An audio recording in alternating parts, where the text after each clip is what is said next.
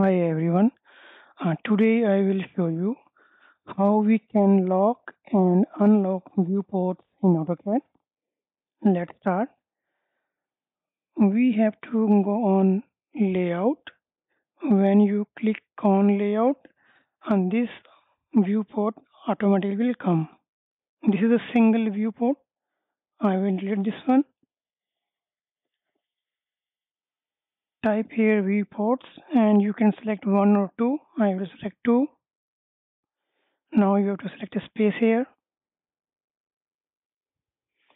Now this two viewport port is created. And you can see that you can change this one by increase and decrease the size. Type here umix10 to lock this one we have to click on layout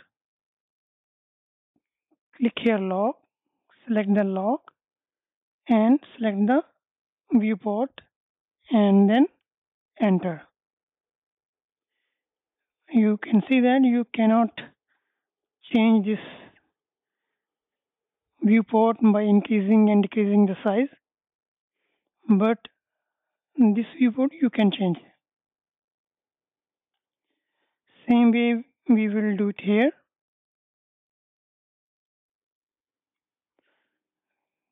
lock viewport then enter. Now this viewport is also lock so this is the way to lock the viewport. Now you can unlock select unlock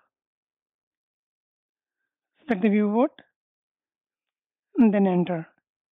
And double click you can see that this viewport is unlocked. Same way here click on unlock. Select the object. So in this way we can lock and unlock viewports in AutoCAD